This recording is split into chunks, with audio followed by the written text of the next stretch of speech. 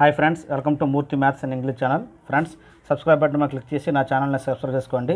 అలాగే పక్కన ఉన్న బెల్ ఐకాన్ క్లిక్ చేస్తే నా యూట్యూబ్ వీడియోస్ యొక్క నోటిఫికేషన్స్ మీకు రావడం జరుగుతుంది. ఫ్రెండ్స్ ఈరోజు మనము defining and non defining clauses గురించి డిస్కస్ చేద్దాము. ఈ టాపిక్ మనకు టెన్త్ క్లాస్ టెక్స్ట్ బుక్లో ఫస్ట్ లెసన్లో ఇవ్వడం జరిగింది. కాబట్టి టెట్ డిఎస్ రాసే వాళ్ళకి ఇది చాలా ఉపయోగపడుతుంది. తప్పనిసరిగా బిట్ వచ్చే అవకాశం ఉంది. So defining and non non defining clauses చెప్పుకునే ముందు ఇవి రిలేటివ్ క్లాజెస్ ఈ రిలేటివ్ క్లాజ్ యొక్క టైప్స్ అనమాట అంటే రిలేటివ్ క్లాజ్ రెండు two types defining relative clause non defining relative clause కాబట్టి ముందు రిలేటివ్ క్లాజ్ అంటే కొంచెం మరొకసారి అవగాహన చేసుకుందాం. రిలేటివ్ క్లాజ్ అంటే the clause which qualifies a noun or pronoun or a noun phrase is called relative clause relative clause అనేది noun కానీ ప్రొనౌన్ కానీ నౌన్ ఫ్రేజ్ని కానీ క్వాలిఫై చేస్తుంది. అంటే నౌన్ గురించి కానీ ప్రొనౌన్ గురించి కానీ ఒక నౌన్ ఫ్రేజ్ గురించి కానీ మాట్లాడడం జరుగుతుంది రిలేటివ్ క్లాజ్ ఓకేనా? అయితే రిలేటివ్ క్లాజ్ ఎలా ఉంటుందంటే యాంటిసిడెంట్ ముందు ఉంటుంది యాంటిసిడెంట్ ఉండి యాంటిసిడెంట్ తర్వాత relative pronouns double h forms ఉంటాయి. Who whose whom which that where why అలాగే వెన్ ఇవి యాంటిసిడెంట్ ఉండి యాంటిసిడెంట్ తర్వాత ఈ రిలేటివ్ ప్రొనౌన్స్తో స్టార్ట్ అవుతుంది అనమాట పక్కన ఒక క్లాజ్ ఉంటుంది. ఈ రిలేటివ్ ప్రొనౌన్స్తో ఉందంతా కూడా రిలేటివ్ క్లాజ్. ఆ రిలేటివ్ క్లాజ్ అనేది యాంటిసిడెంట్ గురించి క్వాలిఫై చేస్తుంది. డిస్క్రైబ్ చేస్తాయి యాంటిసిడెంట్ని. దీని గురించి యాంటిసిడెంట్ గురించి మాట్లాడుతుంది అనమాట ఈ యాంటిసిడెంట్ అనేది ఏమవుద్ది? నౌన్ కానీ ప్రొనౌన్ కానీ నౌన్ ఫ్రేజ్ కానీ అవుతుంది అనమాట ఈ విధంగా రిలేటివ్ క్లజ్ అనేది ఈ విధంగా ఉంటుంది అనమాట ఈ రిలేటివ్ క్లాజ్ అనేది మనకి రెండు రకాలు అనమాట అదేంటంటే noun defining relative clause non defining relative clause. ఎగ్జాంపుల్కి ఇక్కడ రిలేటివ్ క్లాజ్కి ఎగ్జాంపుల్ ఏంటంటే the boy whom I met yesterday is a good boy. Is a good boy. The boy అనేది ఇక్కడ యాంటిసిడెంట్ యాంటిసిడెంట్ గురించి హూమ్ ఐ మెట్ ఎస్టర్డే అంటే నేను ఎవరినైతే కలిసానో ఆ అబ్బాయి అంటే ఈ రిలేటివ్ క్లాజ్ హూమ్తో స్టార్ట్ అయింది కదా ఎంత రిలేటివ్ క్లాజ్ ఈ రిలేటివ్ క్లాజ్ అనేది ఈ ముందున్నటువంటి యాంటిసిడెంట్ గురించి మాట్లాడుతుంది అనమాట అప్పుడు ముందున్న యాంటిసిడెంట్ నౌన్ కానీ ప్రొనౌన్ కానీ నౌన్ ఫ్రేజ్ గురించి కానీ ఇక్కడ రిలేటివ్ క్లాజ్ మాట్లాడుతుంది. అప్పుడు మాత్రమే ఇది రిలేటివ్ క్లాజ్ అవుతుంది అనమాట డబుల్ హెచ్ ఫామ్స్తో ఉన్నది. ఓకేనా? ముందున్న యాంటిసిడెంట్ గురించి మాట్లాడుతున్నప్పుడు మాత్రమే ఇది రిలేటివ్ క్లాజ్ అవుతుంది. అలాగే I know the place where he lives I know the place the place అనేది ఇక్కడ యాంటిసిడెంట్ ఈ ప్లేస్ గురించి వేర్ హీ లివ్స్ అతను ఎక్కడ నివసిస్తున్నాడో ఆ ప్లేస్ నాకు తెలుసు అని అర్థం.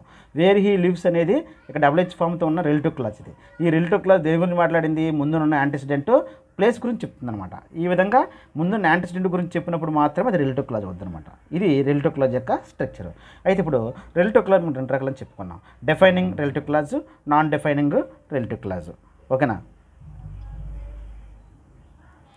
ఇప్పుడు మనము డిఫైనింగ్ రిలేటివ్ క్లాజ్ గురించి డిస్కస్ చేద్దాం. డిఫైనింగ్ రిలేటివ్ క్లాజ్ లేదా డిఫైనింగ్ క్లాజ్ డిఫైనింగ్ క్లాజ్ అంటే the clause which is necessary to define its antecedent is called defining clause defining relative clause అంటే ముందున్న యాంటిసిడెంట్ గురించి తప్పనిసరిగా డిఫైన్ చేయాల్సి వస్తుంది.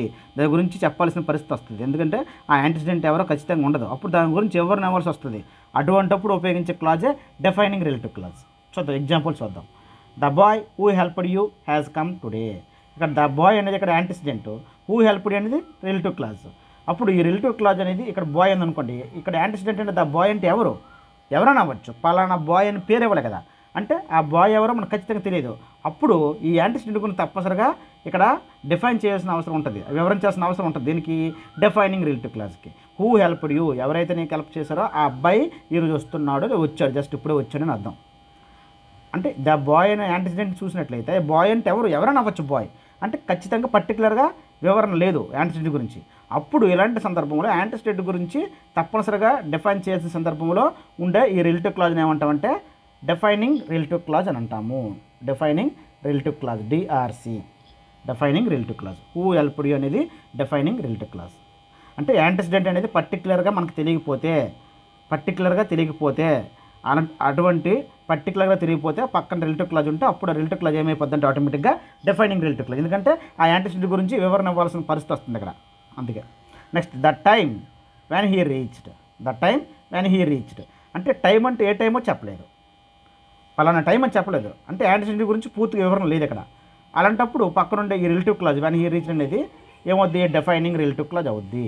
ఈ టైం పర్టికులర్ తెలియదు కాబట్టి యాంటిసిడెంట్ గురించి వివరణ ఇచ్చింది.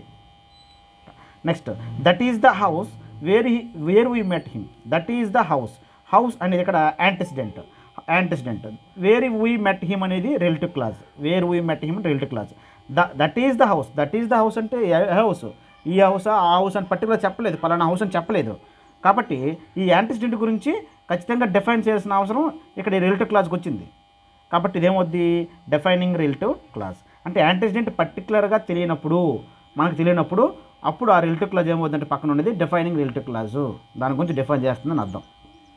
Next the people whom I worked with are very good the people అనేది antecedent. Whom I worked with అనేది రిలేటివ్ క్లాజ్ అయితే ఈ relative clause defining relative clause non defining relative clause చూడాలంటే ముందున్న యాంటిసిడెంట్ పర్టికులర్గా చెప్తే అది నాన్ డిఫైనింగ్ అవుద్ది పర్టికులర్గా చెప్పలేదు? ద పీపుల్ అంటే ఎవరు? ఏ పీపుల్ అదేదా పలానా పర్టికులర్ చెప్పలేదు. అలాంటప్పుడు ఈ యాంటిసిడెంట్ గురించి తప్పనిసరిగా ఇది డిఫైన్ చేయాల్సిన అవసరం ఉంది రిలేటివ్ క్లాజ్కి కాబట్టి అప్పుడు ఈ రిలేటివ్ క్లాజ్ ఏమవుతుంది డిఫైనింగ్ రిలేటివ్ క్లాజ్ అవుతుంది అనమాట ఓకేనా?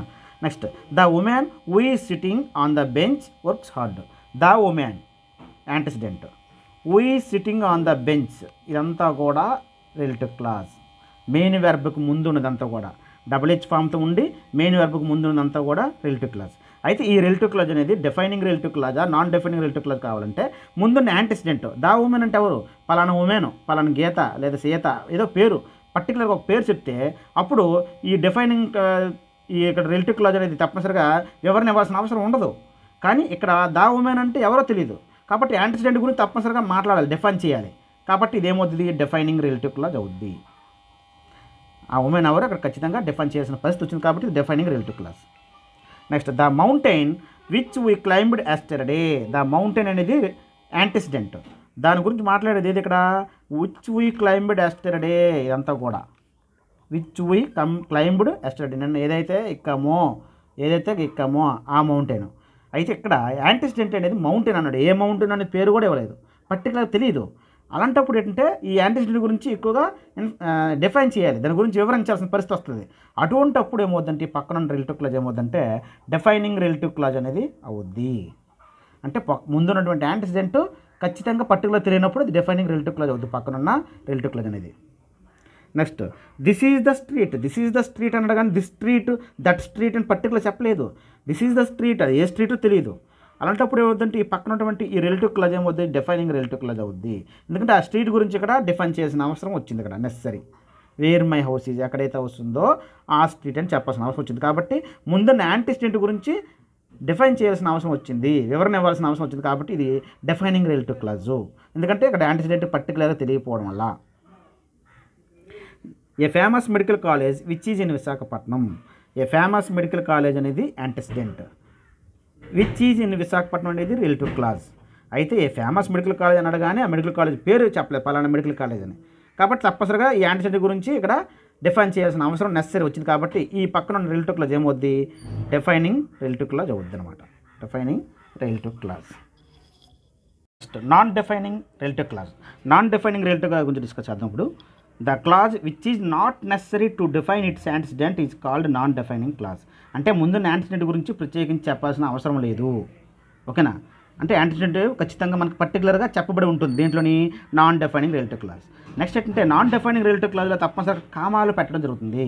నాన్ డిఫైనింగ్ రిలేటివ్ క్లాజ్లో తప్పనిసరిగా కామాలు ఉపయోగిస్తాం. కామాలు లేదా కొన్ని సందర్భాల్లో ఐఫన్స్ కూడా పెడతారు నాన్ డిఫైనింగ్ రిలేటివ్ క్లాజ్కి కామాలు ఎక్కువగా ఉపయోగిస్తారు. అయితే డిఫైనింగ్ రిలేటివ్ క్లాజ్ మాత్రం కామాలు ఉపయోగించకూడదు. ఓకేనా? ఇక్కడ మాత్రం కామాలు ఉపయోగించాలి. నెక్స్ట్ యాంటిసిడెంట్ గురించి ప్రత్యేకించి చెప్పాల్సిన అవసరం అయితే ఉండదు. ఎందుకంటే పర్టికులర్గా యాంటిసిడెంట్ గురించి చెప్పడం జరుగుతుంది. నాన్ డిఫైనింగ్ రిలేటివ్ క్లాజ్లో చూద్దాం ఎగ్జాంపుల్ చూద్దాం. Giri who helped you has come today Giri comma who helped you comma has come today Giri అంటే ఇక్కడ యాంటిసిడెంట్ పర్టికులర్గా పలానా గిరి అనే పేరు చెప్పాడు పర్టికులర్గా చెప్పడం జరిగింది యాంటిసిడెంట్ గురించి. కాబట్టి హూ హెల్ప్డ్ యూ ఇది రిలేటివ్ క్లాజ్ ఇది ఏమి గురించి చెప్పింది? గిరి గురించి. అయితే ఇక్కడ యాంటిసెంట్ పర్టికులర్గా తెలిసింది కాబట్టి ఈ రిలేటివ్ క్లాజ్ ఏమవుద్ది? Non defining relative clause non defining relative clause NRC non defining relative clause అవుద్ది. ఎందుకు? ఇక్కడ యాంటిసెంట్ పర్టికులర్గా తెలిసింది కాబట్టి. నెక్స్ట్ కామాలతో ఉంది. కామాలతో డివైడ్ చేసి యాంటిసెంట్ పర్టికులర్గా ఎవరో తెలుసు. దాని గురించి రిలేటివ్ క్లాజ్ మాట్లాడుతుందంటే అప్పుడు ఏమవుద్ది నాన్ డిఫైనింగ్ రిలేటివ్ క్లాజ్ అయితే ఇక్కడ నాన్ డిఫైనింగ్ రిలేటివ్ క్లాజ్ అనేది తప్పనిసరిగా రాయాల్సిన అవసరం కూడా లేదు. ఇది ఎక్స్ట్రా ఇన్ఫర్మేషన్ ఇది లేకపోయినా పర్లేదు ఎందుకంటే గిరి ఎవరో తెలిసిపోయింది. గిరి హ్యాజ్ కమ్ టుడే అన్న రైటే. మధ్యలో ఈ ఈ నాన్ డెఫైనింగ్ రిలేటివ్ అది లేకపోయినా ఓకే. ఎందుకంటే పూర్తి సమాచారం తెలిసిపోయింది యాన్సిడెంట్ గురించి పలానా వ్యక్తి అని గిరి అని. ఓకేనా? కాబట్టి ఈ నాన్ డెఫైనింగ్ రిలేటివ్ క్లాజ్ అనేది తప్పనిసరిగా ఈ యాంటిసెంట్ గురించి ఎక్కువగా డిఫైన్ చేయాల్సిన అవసరం లేదు. ఇది ఎక్స్ట్రా ఇన్ఫర్మేషను కానీ డిఫైనింగ్ రిలేటివ్ క్లాజ్లో తప్పనిసరిగా డిఫైన్ చేయాలి యాంటిసిడెంట్ గురించి. ఇక్కడ ఉదాహరణ చూడండి. ఇక్కడ యాంటిసిడెంట్ గురించి తప్పనిసరిగా మాట్లాడాలి. ఉమెన్ అంటే ఎవరో తెలియదు. పీపుల్ అంటే ఎవరో తెలియదు. టైం ఎంతకో తెలియదు. ఆ బాయ్ ఎవరో తెలియదు. కాబట్టి తప్పనిసరిగా డిఫైన్ చేయాలి. కానీ ఇక్కడ ప్రత్యేకించి డిఫైన్ చేయాల్సిన అవసరం అయితే లేదు. ఎందుకంటే ఇక్కడ యాంటిసిడెంట్ ఎవరో మనకు చెప్పడం జరుగుతుంది. గిరి అని పేరు చెప్పాడు. కాబట్టి ఇది ఎక్స్ట్రా ఇన్ఫర్మేషన్ తప్ప ఇది ఉండాలని రూల్ లేదు. నాన్ డిఫైనింగ్ రిలేటివ్ క్లాజ్ ఓకేనా? కాబట్టి నాన్ డిఫైనింగ్ రిలేటివ్ క్లాజ్ అనేది యాంటీసిడెంట్ గురించి మాట్లాడుతుంది. అయితే ఆ పర్టికులర్గా యాంటీసిడెంట్ యాంటీసిడెంట్ గురించి పూర్తిగా తెలిసి ఉంటుంది కాబట్టి ఇది ఎక్స్ట్రా ఇన్ఫర్మేషన్ మాత్రమే నాన్ డిఫైనింగ్ రిలేటివ్ క్లాజ్ కాబట్టి నాన్ డిఫైనింగ్ రిలేటివ్ క్లాజ్ అనేది ఎలా పోలుస్తామంటే యాంటీసిడెంట్ పర్టికులర్గా తెలిసి ఉంటుంది ముందు. ఓకేనా? అలాంటప్పుడు అది నాన్ డిఫైనింగ్ రిలేటివ్ క్లాజ్ మరి కామాలతో ఉంటుంది non define non defining relative clause అనేది. నెక్స్ట్ ఇక్కడ చూడండి. Ten the ten thirty PM bus comma which I saw there comma has arrived ఇక్కడ క్లియర్గా the ten thirty PM bus అని యాంటిసిడెంట్ గురించి పర్టికులర్స్ చెప్పడం జరిగింది. ఎన్ని గంటలకు బస్సో ఆ బస్సు గురించి పర్టికులర్ చెప్పడం జరిగింది. అప్పుడు విచ్ సాదేర్ అనేది రిలేటివ్ క్లాజ్ కదా. యాంటిసిడెంట్ గురించి పర్టికులర్గా చెప్పడం జరిగింది అంటే ఇదేమవుద్ది? Non defining relative clause NRC అవుద్ది. ఓకేనా? అయితే నాన్ డిఫైనింగ్ రిలేటివ్ క్లాజ్ని ఏ విధంగా మనం ఐడెంటిఫై చేస్తామని కొన్ని క్లూ వర్డ్స్ ఉన్నాయి. చూద్దాం. ఫస్ట్ ఏంటంటే ప్రాపర్ నౌన్ ఉండి ప్రాపర్ నౌన్ అంటే మనుషుల పేర్లు వస్తువుల పేర్లు జంతువుల పేర్లు ఏవైనా సర్నేమ్స్ అదే పేర్లు ప్రాపర్ నౌన్స్ ఏమైనా ఉండి ఆ పక్కన రిలేటివ్ క్లాజ్ ఉంటే అంటే డబుల్ హెచ్ ఫార్మ్స్ ఇవన్నీ కదా వీటితో ఉంటే అప్పుడు రిలేటివ్ క్లాజ్ ఏమవుద్దంటే మనకి నాన్ డిఫైనింగ్ రిలేటివ్ క్లాజ్ అవుద్ది. మనం ఆల్రెడీ చెప్పిన Srinu who is watching the TV is my brother కామాల్తో divide చేసి ఉండాలి. ఇక్కడ పర్టికులర్గా ప్రాపర్ నౌన్ ఉంటే అప్పుడు ఈ రిలేటివ్ క్లాజ్ ఏమవుద్దంటే మనకి నాన్ డిఫైనింగ్ రిలేటివ్ క్లాజ్ అనేది అవుతుంది. తర్వాత పొసెసివ్ యాడ్జెక్టివ్ ఉంటే పొసెసివ్ యాడ్జెక్టివ్ ఉండి తర్వాత రిలేటివ్ క్లాజ్ ఉంటే అప్పుడు relative clause ఏమవుద్దంటే non defining relative clause possessive adjective అంటే my our your his her their ఇవి ఉండి ఆ తర్వాత రిలేటివ్ క్లాజ్ ఉంటే ఆ relative clause non defining relative clause అవుద్ది. ఉదాహరణకి my father who is a teacher is honest my father who is a teacher is honest ఇక్కడ. యాంటిసిడెంట్ ఏంటి ఉంది ఇక్కడ. మై ఫాదర్ అని పర్టికులర్ చెప్పడం జరిగింది. ఫస్ట్ అబ్జెక్ట్ మై ఫాదర్ అని చెప్పడం జరిగింది. పర్టికులర్ చెప్పాం కాబట్టి కామాలతో డివైడ్ చేసాం కాబట్టి పర్టికులర్గా చెప్పాము అంటే యాంటిసిడెంట్ గురించి. ఫస్ట్ అబ్జెక్టివ్స్తో మై ఫాదర్ మై మదర్ అలాగే our father our mother our pen our book our bike అలాగే హిజ్ మదర్ అలాగే పర్టికులర్ చెప్పినట్లయితే అప్పుడు ఆ పక్కన ఉన్న రిలేటివ్ క్లాజ్ ఏమవుతుందంటే నాన్ డిఫైనింగ్ రిలేటివ్ క్లాజ్ అనేది అవుతుంది. నెక్స్ట్ అండి. డెమోనస్ట్రేటివ్ యాడ్జెక్టివ్ ఉండి పక్కన రిలేటివ్ క్లాజ్ ఉంటే అప్పుడు రిలేటివ్ క్లాజ్ ఏమవుద్దంటే మనకి నాన్ డిఫైనింగ్ రిలేటివ్ క్లాజ్ అవుతుంది. డెమోనస్ట్రేటివ్ యాడ్జెక్టివ్ అంటే దిస్ ఉండి దట్ ఉండి దీస్ ఉండి దోజ్ ఉండి. అంటే పక్కన దిస్ తర్వాత వెంటనే ఉండాలి. దిస్ స్ట్రీట్ అనాలి కానీ this is this is the street అంటే మళ్ళీ డెమోనస్ట్రేట్ అవ్వదు.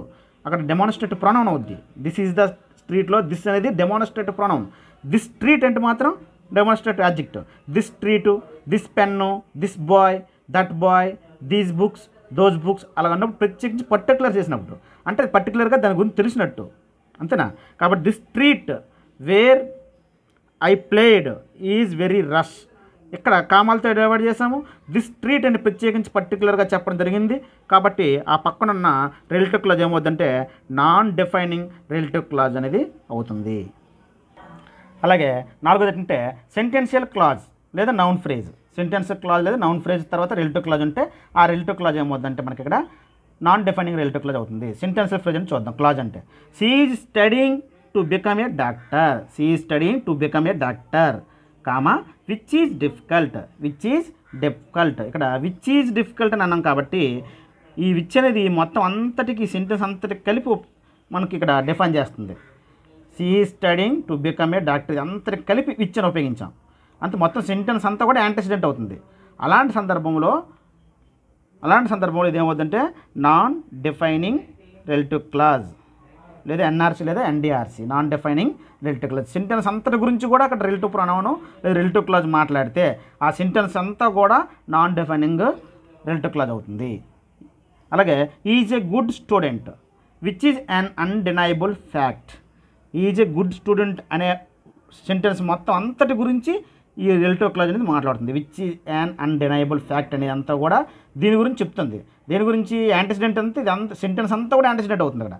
మొత్తం సెంటెన్స్ అంతా కూడా యాంటిసిడెంట్ అయినప్పుడు అలాంటి సందర్భంలో రిలేటివ్ క్లాజ్ మాట్లాడినప్పుడు అటువంటి రిలేటివ్ క్లాజ్ని ఏమంటామంటే నాన్ డిఫైనింగ్ రిలేటివ్ క్లాజ్ ఉంటాం నాన్ డిఫైనింగ్ రిలేటివ్ క్లాజ్ అలాగే మరొక క్లూ ఏంటంటే some of many of few of several of all of any of both of most of none of అలాగే మస్ట్ ఆఫ్ మచ్ ఆఫ్ ఇలా ఉండి ఆ పక్కన whom కానీ విచ్ కానీ హూమ్ అంటే పర్సన్స్ కొడతాము విచ్ అంటే థింగ్స్ కొడతాం. మనం ఆల్రెడీ తెలిసిన విన్నాను ఆల్రెడీ గతంలో చెప్పుకుని ఉన్నాం. హూమ్ అంటే పర్సన్స్కి విచ్ అంటే థింగ్స్కి మొత్తం పెట్టి ఈ విధంగా స్ట్రక్చర్ ఉండి ఆఫ్ ఉండి పక్కన హూమ్ కానీ విచ్ కానీ ఉంటే ఒక సెంటెన్స్లో ఉందంటే అదంతా కూడా ఏ క్లాజ్ అవుద్దంటే నాన్ డెఫైనింగ్ రిలేటివ్ క్లాజ్ సింపుల్గా చూద్దాం. The books comma some of which are sold comma are found again here ఇక్కడ some of which are sold అని చూసారా? సమ్ ఆఫ్ అని స్ట్రక్చర్తో ఉంది.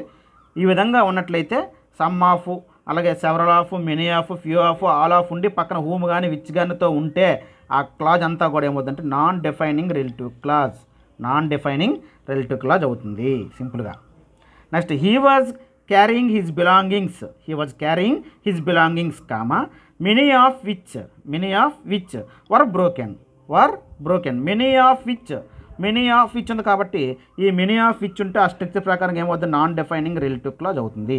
కాబట్టి ఈ ఈ స్ట్రక్చర్లో ఏది ఉన్నా సరే ఆ clause ఏమవుద్దంటే non defining relative clause next text బుక్లో ఇచ్చిన ఎక్సర్సైజ్ చూద్దాం. ఫస్ట్ ఏంటంటే this is the peaceful place this is the peaceful place dash అని పెట్టి వదిలేశాడు మన టెక్స్ట్ బుక్లో this is the peaceful place అని చెప్పి మనకి ఇక్కడ డిఫైనింగ్ నాన్ డిఫైనింగ్ క్లాజుల్ని వీళ్ళని దగ్గర మనల్ని ఓన్గా రాయమన్నాడు. This is the peaceful place dash పెట్టాడు పీస్ఫుల్ ప్లేస్ అంటే యాంటిసిడెంట్ ఇక్కడ ఏముంది? ప్లేస్ యాంటిసిడెంట్ ప్లేస్ ప్లేస్కి వచ్చినప్పుడు ఏటు రాస్తాం? వేర్ ఇక్కడ వేర్ ఐ లివ్డ్ లేదా where I studied where I met him అని ఏదైనా రాసుకోవచ్చు ఇక్కడ. అయితే ఇక్కడ ప్లేస్ ఉంది కాబట్టి మనం ఇక్కడ రిలేటివ్ ప్రాణం ఏదో ఉపయోగిస్తాం? వేర్ అయితే ఇక్కడ పీస్ఫుల్ ప్లేస్ అనేది పీస్ఫుల్ ప్లేస్ అన్నాడు కానీ పలానా ప్లేస్ అని చెప్పలేదు. పర్టికులర్ చెప్పలేదు కాబట్టి ఏమవుద్ది? డిఫైనింగ్ రిలేటివ్ క్లాజ్ అవుద్ది. ఇది ఏమవుద్ది డిఫైనింగ్ రిలేటివ్ క్లాజ్ అవుద్ది. అంటే ఈ ప్లేస్ గురించి పర్టికులర్గా పలానా ప్లేస్ అని చెప్పలేదు కాబట్టి. అందుకే ఇక్కడ కామాలు పెట్టకూడదు. డిఫైనింగ్ రిలేటివ్ క్లాజ్కి కామా పెట్టకుండా ఇక్కడ వేరే ఐ లివ్డ్ కానీ వేరే ఐ మెట్ హిమ్ కానీ వేరే స్టడీడ్ ఏదైనా రాసినా ఒకటే ఓకేనా? Next the Mahaprasthanam is a popular book dash పెట్టి టెక్స్ట్ బుక్లో ఇవ్వడం జరిగింది. ఈ డాష్ని ఫిలప్ చేయమన్నాడు. డిఫైనింగ్ క్లాజ్ నాన్ డిఫైనింగ్ క్లాజ్లో ఏదైతే సూట్ అవుద్దో దాని ప్రకారం మనం ఓన్గా మనం ప్రిపేర్ చేయమన్నాడు. ఇక్కడ చూసినట్లయితే the Mahaprasthanam is a popular book dash అని అన్నాడు. అయితే ఇక్కడ బుక్ పాపులర్ బుక్ అనేది యాంటిసిడెంట్. బుక్ అంటే ఇక్కడ ఏమొస్తుంది మనకి? విచ్ అని ఉపయోగిస్తాం. ఆల్రెడీ మనము రిలేటివ్ ప్రొనౌన్స్ని వేటికి ఉపయోగించాలో గతంలో వీడియోలు చేసుకున్నాం అక్కడ ప్లేస్ అయితే వేరు ఉపయోగిస్తాం. బుక్ అయినా వస్తువైనా యానిమల్ అయినా విచ్ ఉపయోగిస్తాం. విచ్. కాబట్టి ఇక్కడ పాపులర్ బుక్ ఉంది కాబట్టి విచ్ ఉపయోగిస్తాం. అయితే దీని గురించి మనం ఓన్గా ఇక్కడ రాయడం ఒక క్లాజ్ని వే విచ్ ఐ రీడ్ లేదా విచ్ ఐ బాట్ ఏది రాసినా రైటే. అయితే ఇది డిఫైనింగ్గా నాన్ డిఫైనింగ్ పోల్చాల. ఏ పాపులర్ బుక్ అని ఉంది యాక్సిడెంట్ పలానా బుక్ అని చెప్పలేదు. పాపులర్ బుక్ అంటే పాపులర్ బుక్లు చాలా ఉన్నాయి. అర్థమైందా? కాబట్టి ఇది defining relative clause defining relative clause కాబట్టి ఇది కామా పెట్టి రాయకూడదు. నెక్స్ట్ అండి. సురేష్ సురేష్ తర్వాత డ్యాష్ ఇచ్చి మనకు టెక్స్ట్ బుక్లు ఇవ్వడం జరిగింది సురేష్ తర్వాత డాష్ ఇవ్వడం జరిగింది తర్వాత హ్యాజ్ లెఫ్ట్ ది స్కూల్ అని ఇవ్వడం జరిగింది. అయితే ఇక్కడ యాంటిసిడెంట్ సురేష్ అని పర్టికులర్గా చెప్పడం జరిగింది. పర్టికులర్గా చెప్పాడంటే తప్పనిసరిగా non defining relative clause proper noun ఉపయోగించారు కాబట్టి. అప్పుడు ఏం చేయాలి మనం కామాలు పెట్టి రాయాలి. కామాలు పెట్టాలి తప్పనిసరిగా. అయితే మధ్యలో డాష్ ఇచ్చారు కాబట్టి మధ్యలో మనము non defining relative clause extra information చెప్పాం. నాన్ డిఫైనింగ్ రిలేటివ్ క్లాజ్ అంటేనే ఎక్స్ట్రా ఇన్ఫర్మేషన్ ఇవ్వడము. యాక్చువల్గా అయితే ఇన్ఫర్మేషన్ అవసరం లేదు డిఫైన్ చేయాల్సిన అవసరం లేదు. కానీ నాన్ డెఫైన్ రిలేటివ్ లేదు ఎక్స్ట్రా ఇన్ఫర్మేషన్ ఇవ్వాలి. అయితే సురేష్ అనే పర్సన్ కాబట్టి ఏం రాస్తాం? Who who is my brother Suresh who is my brother has left the school లేదు హూ ఈజ్ మై కజిన్ ఏది రాసినా రైటే మొత్తం పెట్టిన కామాలు పెట్టాలి. ఎందుకంటే ఇది non defining relative clause antecedent బట్టి చెప్పాం. Is this the street is this the street where you lived ఇక్కడ అండర్లైన్ ఇది ఇచ్చాడు. మనం ఓన్గా ప్రిపేర్ చేయాలి. ఇక్కడ ఈజ్ దిస్ ద స్ట్రీట్ అనేది ఏంటిది?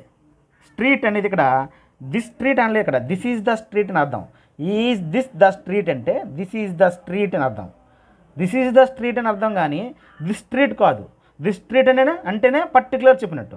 ఈజ్ దిస్ స్ట్రీట్ అంటే పర్టికులర్ కానట్టు. అంటే ఇది defining relative clause defining relative clause so defining relative clause కాబట్టి కామా పెట్టకూడదు.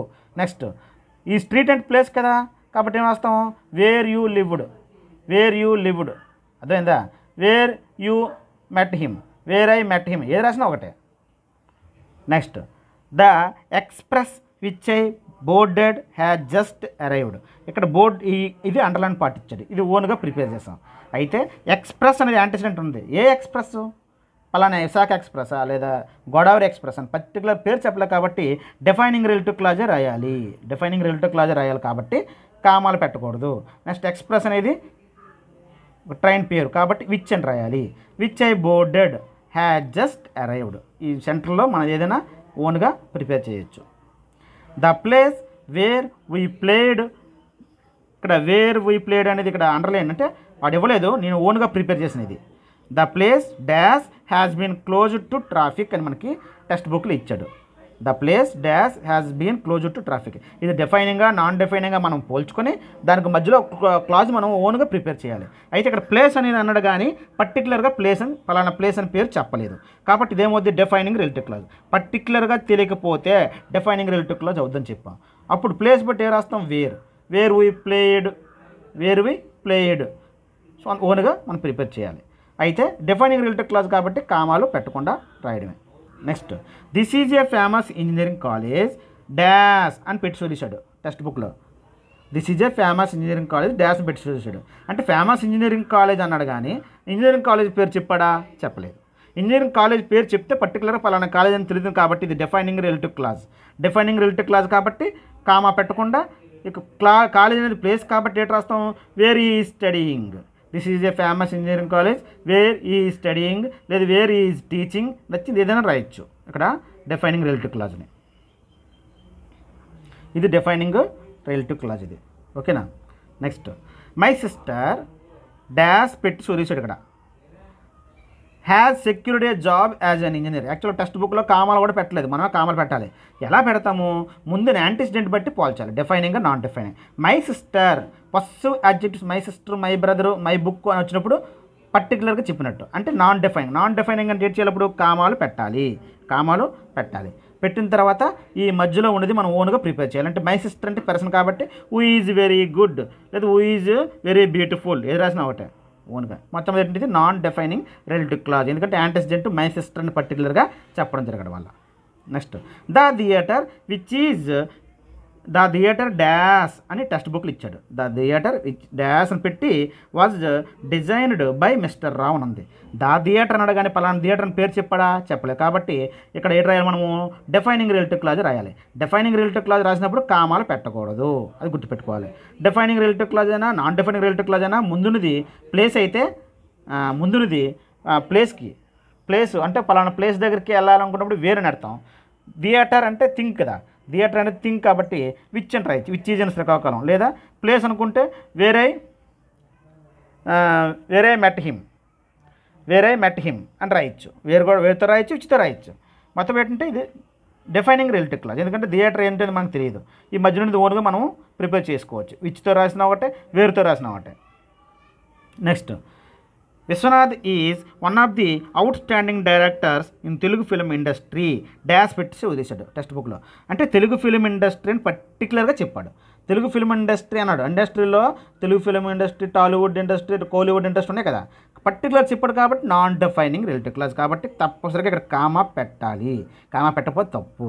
పెట్టి అప్పుడు ఇండస్ట్రీ అన్నాడు కాబట్టి విచ్ ఎంకరేజెస్ గుడ్ యాక్టర్స్ అని నేను ఓన్గా రాసాం అలాగే మీ నచ్చింది ఏదైనా రాయొచ్చు. ఓకేనా?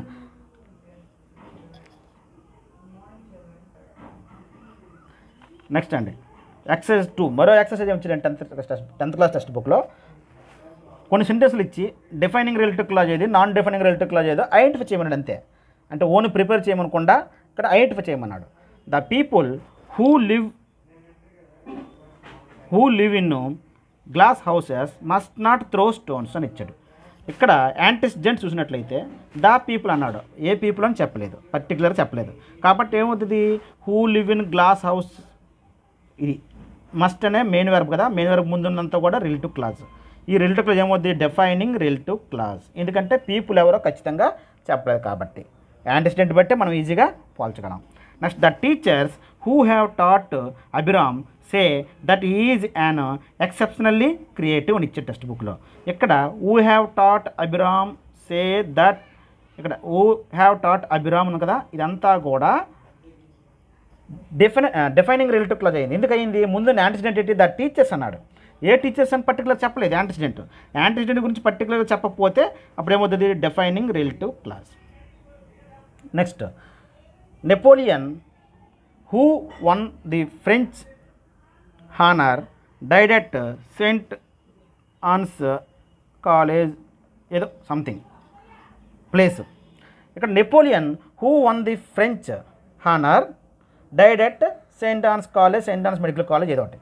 ఇప్పుడు జాగ్రత్తగా చూసినట్లయితే నెపోలియన్ అనేది యాంటీసిడెంట్ పర్టికులర్గా పేరు చెప్పడం జరిగింది ప్రాపర్ నౌన్. కాబట్టి who won the French honour అనేది అంతా కూడా ఏమవుద్దండి? మనకి రిలేటివ్ క్లాజే ఆ రిలేటివ్ క్లాజ్ ఏ క్లాజ్ అవుద్దంటే నాన్ డిఫైనింగ్ రిలేటివ్ క్లాజ్ అవుద్ది. Non defining relative. ఎందుకంటే యాంటీసిడెంట్ ఎవరు పర్టికులర్ చెప్పడం జరిగింది. ఓకేనా? నెక్స్ట్ అండి. The silk saris which are made in Banaras. ఇక్కడ చూడండి. నాన్ డిఫైనింగ్ రిలేటివ్ క్లాస్ కాబట్టి కామాలతో పెట్టడం జరిగింది. కామాలు ఉన్నాయంటే నాన్ డిఫైనింగ్ రిలేటివ్ క్లాస్ కామాలు పెట్టామంటే యాంటిసిడెంట్ గురించి తప్పనిసరిగా పర్టికులర్గా తెలిసి ఉండాలి. Next the silk saris which are made in Banaras are popular all over the world ఇక్కడ అర్థం చూసినట్లయితే ద సిల్క్ సారీస్ ఉంది యాంటిసిడెంట్ సిల్క్ సారీస్లో చాలా రకాలు ఉన్నాయి. ఆ ప- ఆ సిల్క్ సారీస్ అంటే సిల్క్ సారీస్లో టైప్స్ చాలా ఉన్నాయి. పలానా సిల్క్ శారీ పలానా టైప్ సిల్క్ సారీ అని చెప్పలేదు కాబట్టి పర్టికులర్ చెప్పలేదు కాబట్టి ఈ యాంటిసిడెంట్ గురించి పర్టికులర్ చెప్పలేదు కాబట్టి ఈ పక్కన ఉన్న రిలేటివ్ క్లాజ్ ఏమవుతుందంటే which are made in Banaras అనేది ఏమవుతుందంటే నా సారీ డిఫైనింగ్ రిలేటివ్ క్లాజ్ అవుద్ది. ఎందుకంటే సిల్క్ శారీస్లో ఎన్నో రకాలు ఉన్నాయి. పలానా సిల్క్ శారీ అని చెప్పినట్లయితే నాన్ డిఫైనింగ్ అవుదును కామాలు పెట్టాలి. అందుకే పలానా సిల్క్ సారీ అని చెప్పలేదు కాబట్టి సిల్క్ శారీని ఓవరాల్గా చెప్పారు కాబట్టి పర్టికులర్గా చెప్పలేదు కాబట్టి కామాలు లేవు. మరియు ఈ రిలేటివ్ క్లాజ్ ఏమవుద్ది? డిఫైనింగ్ రిలేటివ్ క్లాజ్ అవుద్ది. సో యాంటిసిడెంట్ గురించి పర్టికులర్గా చెబితేనే నాన్ డిఫైనింగ్ రిలేటివ్ క్లాజు పర్టికులర్గా చెప్పపోతే డిఫైనింగ్ రిలేటివ్ క్లాజు ఓకేనా నెక్స్ట్ అండి. The meeting which was held in the town hall was a great success which walled which was held in the town hall చూడండి ఇక్కడ main verb కూడా ఉంటుందండి. Main వెర్బ్కు ముందున్న part వరకు కూడా రిలేటివ్ క్లాజ్ ఇదంతా రిలేటివ్ క్లాజ్ దాని ముందు న్యాన్సిడెంట్ ద మీటింగ్ అంటే ఏ మీటింగు అంగన్వాడీ మీటింగా లేకపోతే ఎస్ఎంసీ మీటింగా లేకపోతే హెచ్ఎంస్ మీటింగా ఏదో ఒక మీటింగ్ ఉంటుంది కదా.